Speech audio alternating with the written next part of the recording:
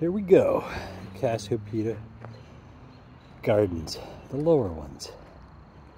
Don't they look nice? I think they look nice, but I could be biased. I'm surprised I can move my arms. Hurting me.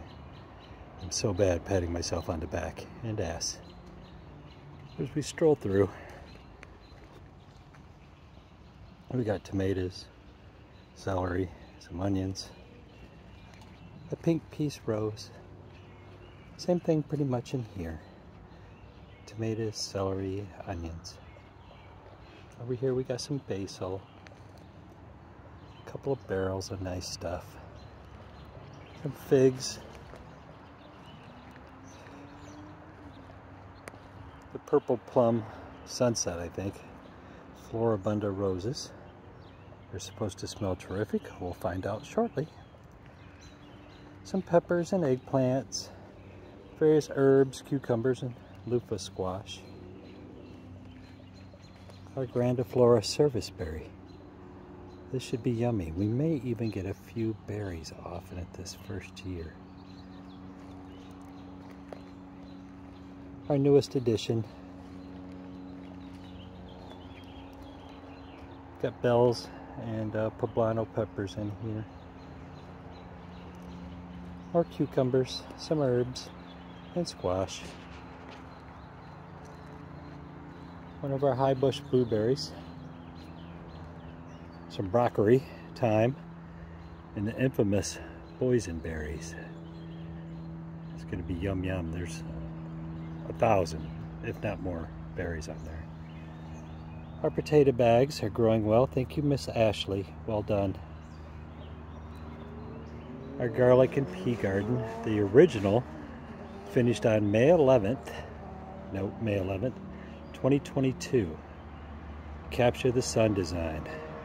Trellises on the north, part of the way down on the east and west wing walls. It allows you to capture the sun for everything that grows up in the back and everything that grows in the middle and front. We're just starting to get the scapes off in some of the garlic. I'll zoom in on one here if I can see one. We cut a few already, but they're definitely in there. Oh, look at that right up front. And there it is. So tasty, like garlic. Although the bees love them, you should not let them go to seed if you can help it. It draws too much energy from the bulb.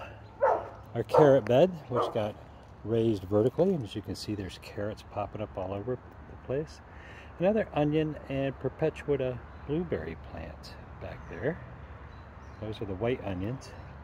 One of our kiwi beds back there with shallots. A couple of kiwis doing their climbing. Another one of the kiwi bed with some more onions. And as we go down, we can make a choice.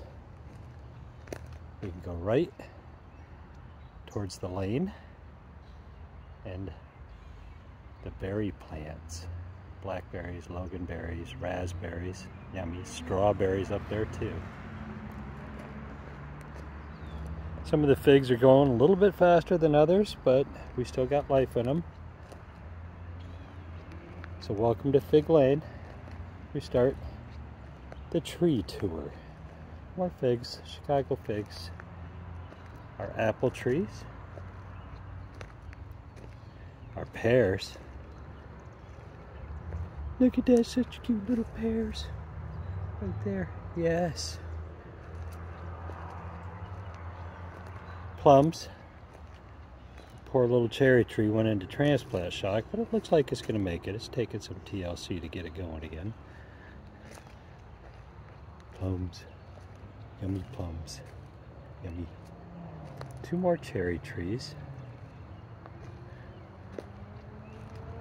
And oh, look at this. Won't Carrie be surprised? Our two peach trees. The path is finally complete.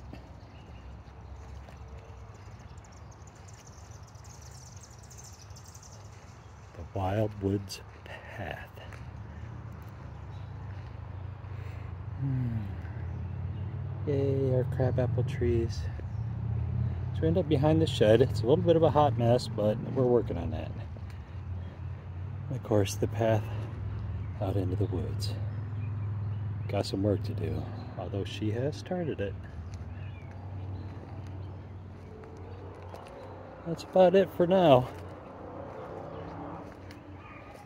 It's looking pretty good. There is no path to nowhere anymore. It is now somewhere. You all have a good evening. Happy anniversary to Cassiopeia Gardens. Incorporated, so to speak, one year ago today. It's amazing the change you can make in 365 days. Kirk out.